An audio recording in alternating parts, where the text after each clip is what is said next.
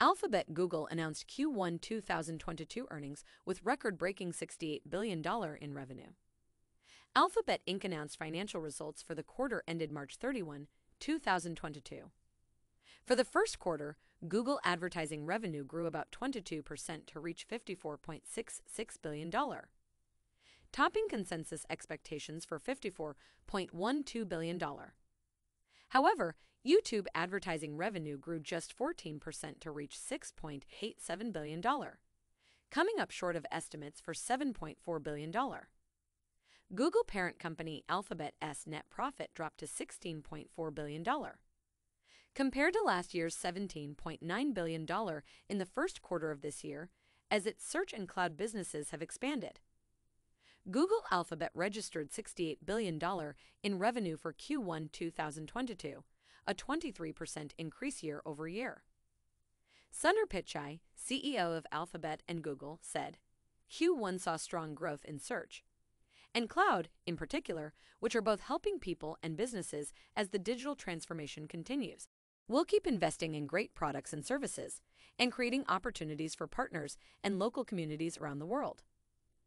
Ruth Porat, CFO of Alphabet and Google, said, We are pleased with Q1 revenue growth of 23% year over year.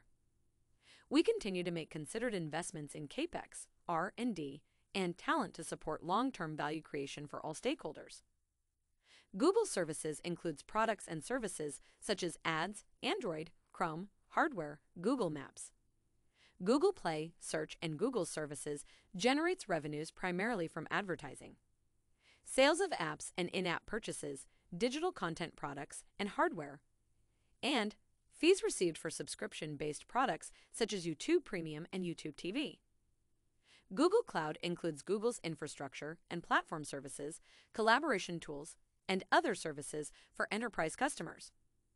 Google Cloud generates revenues from fees received for Google Cloud Platform Services, Google Workspace collaboration tools, and other enterprise.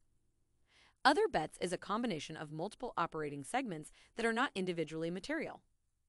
Revenues from other bets are generated primarily from the sale of health technology and internet. Unallocated corporate costs primarily include corporate initiatives, corporate shared costs such as finance and legal, including certain fines and settlements, as well as costs associated with certain shared R&D activities. Additionally, hedging gains related to revenue are included in corporate costs.